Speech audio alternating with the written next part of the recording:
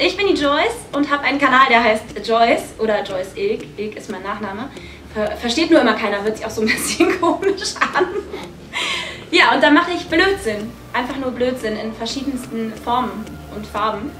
Ja, weil ich sonst nichts zu tun habe, weil ich arbeitslose Schauspielerin bin. So sieht es nämlich aus. Und bei einem Job, den diese arbeitslose Schauspielerin äh, bei Ponk macht, da hat sie Maxim Noise kennengelernt. Und den ersten Dreh, den ich mit Max hatte, da habe ich gedacht, Mensch, boah, der Typ, der labert ja. Ne? Der labert ja so viel wie ich. Wie soll denn das gut gehen? Ne? Laber, laber. Wir haben uns auch oft ins Wort geredet, aber haben uns gegenseitig gut verstanden. So, und das ist ja das Wichtige. Ne? Und der Maxim, der macht ja auch viel Musik, wie ich dann rausgefunden habe, hat ein neues Album. Das heißt, mach mal Lärm. Ich finde, es passt total super zu ihm. Würde auch zu mir passen, ehrlich gesagt. So, mach mal Lärm. Finde ich gut. Und da ist auch ein Song drauf, der heißt Menschen wie wir. Den habe ich äh, irgendwann mal bei YouTube gehört und fand den ganz cool. Und auch das Video dazu habe ich Max dann auch gesagt.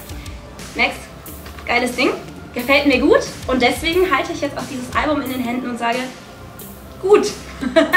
Machst du gut, Maxim. Machst du gut. Heller als ein Stern, dein Leben muss was wert sein.